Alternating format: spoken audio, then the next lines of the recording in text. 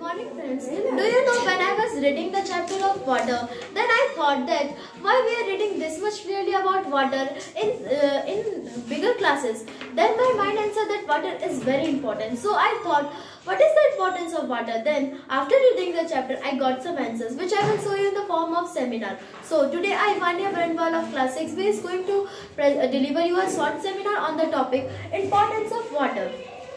Water is very important for uh, for all the living organisms. Uh, they are plants, humans, and animals.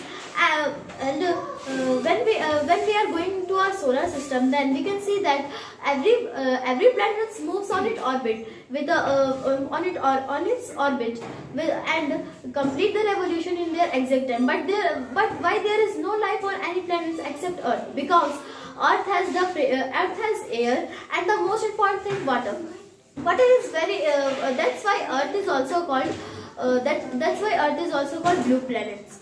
Water is uh, uh, water is very important for us because of many reasons. Let us see that reasons. First reason is water helps us in regulating body temperature by the process of sweating and evaporation. Then the second is water help us in uh, uh, water help us in digestion. Water also help us in losing weight. uh, then uh, water give us an energy. Uh, you can see sometimes the, that when any one of your family member or you are doing a, a fast then at that time if you are not uh, allowed to drink water you are not feeling that much energetic.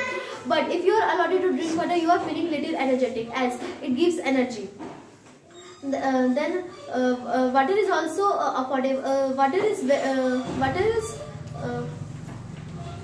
water help also helps plants in germination growth of plants and in photosynthesis so at last I will you that if we are conserving water, uh, then we are saving our life because as you know that water is uh, mostly important for humans only. So please save water and save your life. Thank you.